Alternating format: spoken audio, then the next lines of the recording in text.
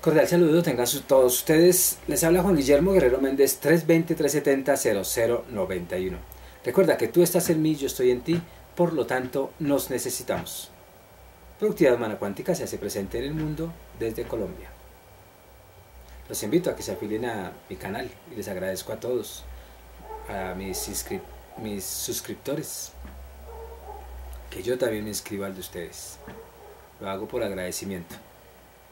Estamos hablando entre ese, ese cuerpo, mente y espíritu donde uno, pues el mal es subjetivo, pero cuerpo, mente y espíritu está totalmente alineado para poder ser coherente con una vida, digámoslo así, armoniosa, ¿cierto?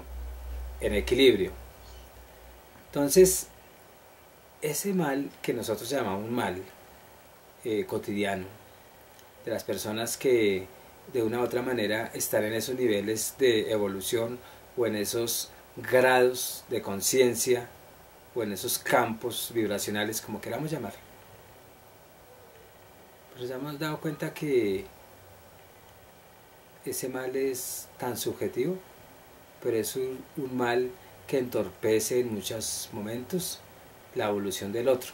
Pero eso si uno es débil, y si no cree mucho en nuestra propia convicción.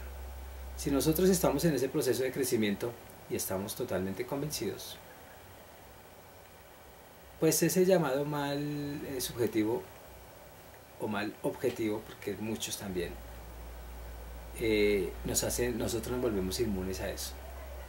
Nos volvemos tan, nos volvemos tan sabios en alguna forma que constantemente tenemos que estar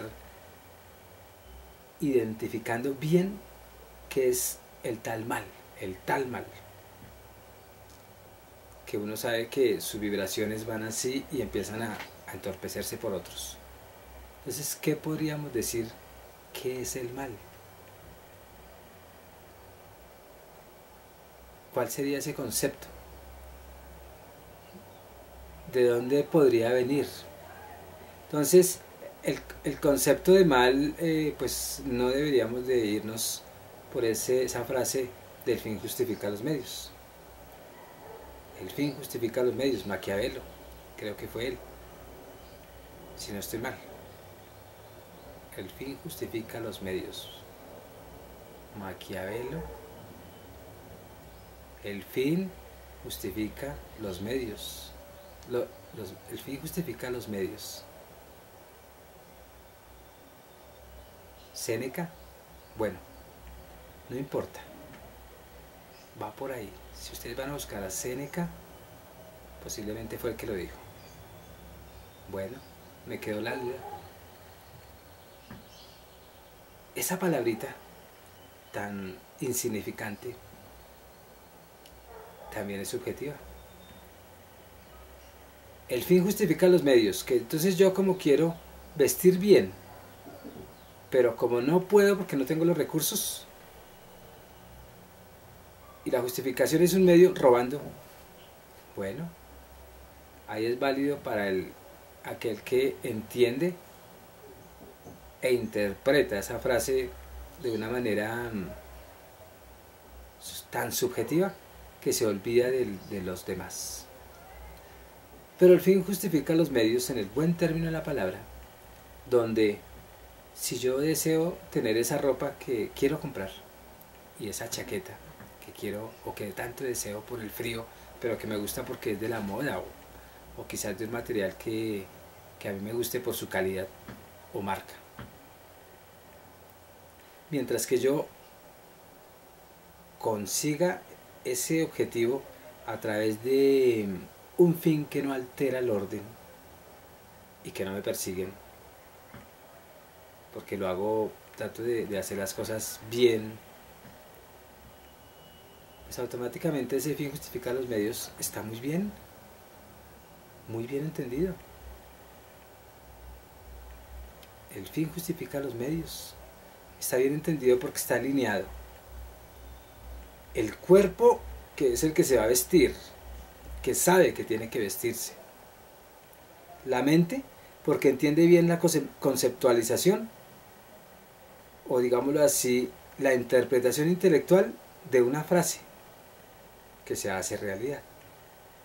Y está bien alineado con el espíritu porque le envía esa cadena de interpretaciones. O esa cadena de interpretación, que es un eslabón de muchas interpretaciones. Y ahí es donde se hace consciente y, se hace vida esa frase. Si yo me voy por el fin justifica los medios en el primer término que les explico, pues cada uno verá si, si a último esa ropa que yo vestí, por, porque el, fin tenía, el, medio tenía que ser cualquiera que yo hubiese deseado en este mundo cuántico y escogí una de tantas o de miles alternativas para ese, ese fin, que fue robar. Y maté, un ejemplo. Pues automáticamente esto que yo compré, eso que estoy usando, tiene tanta energía de, digámoslo así, de desequilibrio, como mi idea, como la interpretación de mi idea y esa interpretación de esa idea que es mental es porque mi mente definitivamente está tan equívoca, tan desequilibrada, que no he tomado conciencia. Y opaco el espíritu. Yo ahora sí entiendo, ahora sí entiendo el espíritu. Yo no soy ningún religioso. por más que haya estado en un seminario, yo no soy religioso. A mí ya no me gusta ir a una misa porque para eso están los libros, para eso están mis puntos de reflexión. O sea que posiblemente todos los discursos que yo escucho, escuchaba en el seminario y en la misa eran muy egocéntricos por los que quienes lo decían, eran muy jerarquizados y nos veían como porquerías allá al frente. ¿no? Ustedes son los que tienen que perdonarse y son los pecadores y yo que soy el cura, pues yo soy el que que digo la verdad y yo no soy como ustedes. También muy subjetivo que hay buenos sacerdotes. Pero fue mi experiencia y mi interpretación. Entonces, si yo eh, de una u otra manera, si yo hubiera entendido bien la religiosidad,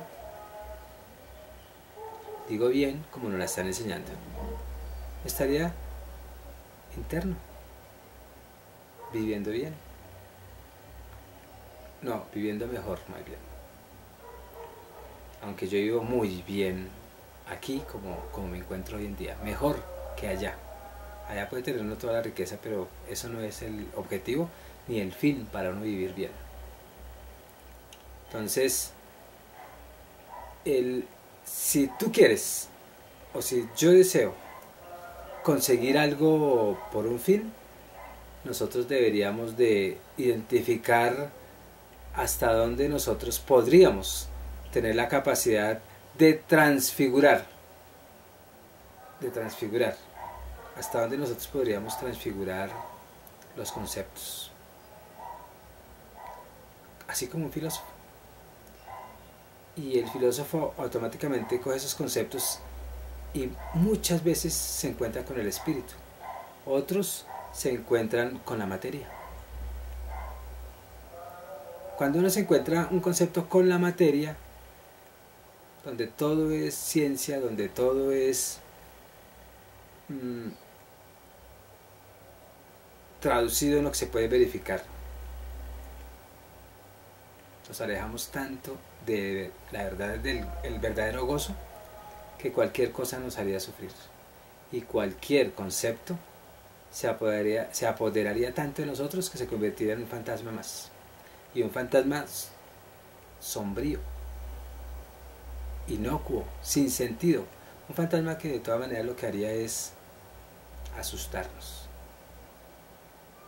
Y lo llamaríamos mal. Pero si nosotros, a nosotros nos llega un concepto y lo espiritualizamos, entendemos por qué lado tendríamos que darle esa interpretación. ¿Para qué? Para no agredir todo el sistema de espíritu hacia adelante. espíritu, mente, cuerpo, etc. Y automáticamente viviríamos en mayor armonía y con un gozo que solamente lo entendería ese que espiritualizó el concepto. Y ahí, si ahí está en gozo, así los otros no lo vean bien materializado, o sea, lleno de bienes, porque lo ven como un, soñador de algo que no, existe, pues automáticamente no le interesaría lo demás y estaría más gozoso que aquel que materializa todo. O sea que el espíritu, nosotros como espíritu, en última no estamos bien en una materia, como dice Platón, que es nuestra cárcel. O sea, estamos bien, más bien, pero no estaríamos en el existencialismo de estamos en una cárcel de, del espíritu, sino más bien estamos en una experiencia, experiencia a través de esta carne para el espíritu, que es lo que Platón, bueno, Platón en su idealismo, de todas maneras, él como que mm, a veces lo ve uno pesimista y en otros momentos no. Pero en últimas estaríamos em, entendiendo que el espíritu, que como nosotros somos espíritu, la vida, este, este cuerpo material es tan insignificante, lo amamos y todo, pero que no es el fin último, sino es más bien que el espíritu vino aquí, aprendió y se fue. El materialista, ¿qué es lo que hace cuando se desconecta con el espíritu? Y su mente se distorsiona, su interpretación de las cosas es pesimista, existencialista, sin sentido. Sufren porque no compraron una camisa y se dan cuenta, sufren tanto por la camisa que creen que está la vida, que esto es lo verdadero, que esto es lo último, entonces lo único que les digo es, tengamos o no tengamos, millonarios o no millonarios, con mujeres todas las que quieran o sin una, con hijos o sin hijos, estériles o no estériles, espiritualicemos todo. Si tenemos 100 hijos, como Diomedes Díaz que tuvo como 20 y pico, y quizá le dio felicidad solamente a uno. Si nosotros espiritualizamos eso, somos capaces de responderle al mundo hasta el último día.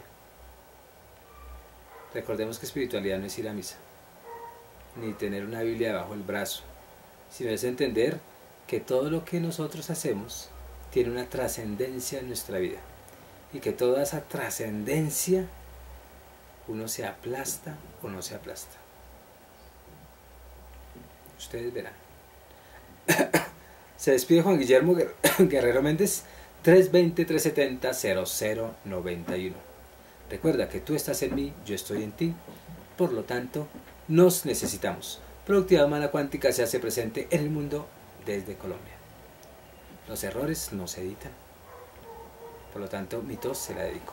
Que estén muy bien.